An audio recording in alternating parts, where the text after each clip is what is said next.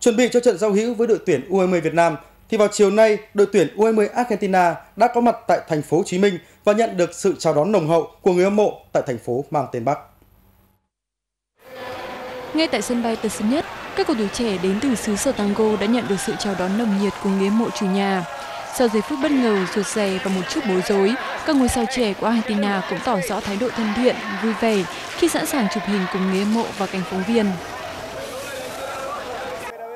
Chúng tôi rất ngạc nhiên trước sự chào đón nồng nhiệt này của các bạn. Đây là một trải nghiệm thú vị đối với các cầu thủ trẻ của chúng tôi. Về trận đấu sắp tới với U20 Việt Nam, tôi cho rằng đây là cơ hội để chúng tôi tìm hiểu phần nào đó về bóng đá của các bạn.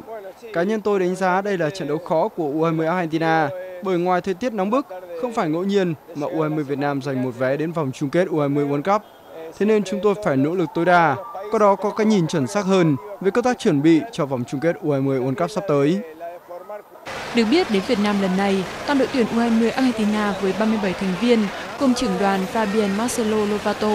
giám đốc kỹ thuật Claudio Ubeda, huấn luyện viên trưởng Diego Romanoli, các thành viên ban huấn luyện cùng 21 cầu thủ, trong đó có nhiều trường hợp hiện đang thi đấu tại các câu lạc bộ nhà nghề thuộc xứ sở Tango như Marcelo Torres của Boca Juniors, Ezequiel Baco của Independiente, Franco Petroli của River Plate, Santiago Ascasiba của Estudiantes, Lautaro Martinez của Racing Club. Theo kế hoạch lúc 19 giờ ngày mai 9 tháng 5, thầy trò huấn luyện viên Romanoli sẽ có buổi tập đầu tiên trên sân thống nhất.